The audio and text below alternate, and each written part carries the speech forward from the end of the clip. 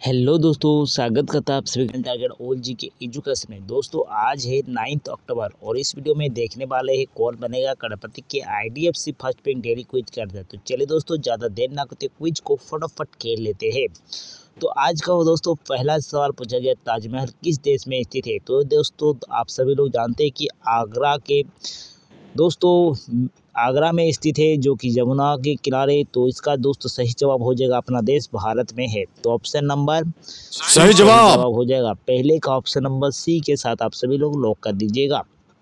दूसरा सवाल पूछा गया कौन सा काल्पनिक जासूस two two one B Baker Street पर रहने के लिए जाना जाता है? तो दोस्तों इसका सही जवाब हो जाएगा option number A Sherlock hop home सही जवाब। तो दोस्तों दूसरे का ऑप्शन नंबर ए के साथ आप सभी लोग लॉक कर दीजिएगा दूसरे का ए सही जवाब है। तीसरा सवाल पूछा गया कनाडा के राष्ट्रीय पशु कौन सा है? तो कनाडा का राष्ट्रीय पशु वीवर है वीवर ऑप्शन सही जवाब। तीसरे का ऑप्शन नंबर सी को लॉक कर देना है तीसरे का सी सही जवाब है। चौथा सवाल पूछा गया पृथ्वी के सबसे कठोर प्राकृतिक पदार्थ कौन सा है? तो कठोर दोस्तों सबसे ज़्यादा है हीरा। हीरा सबसे सही जवाब। तो ऑप्शन नंबर सी सही जवाब है। चौथे का ऑप्शन नंबर डायमंड हीरा सही जवाब है।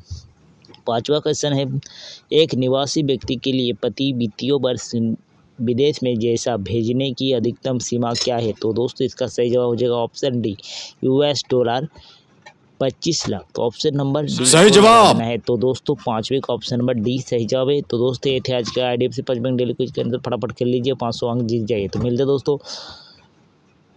किसी और वीडियो में, तब तक सबसे तो का टाटा बाय बाय जय हिंद, जय भारत।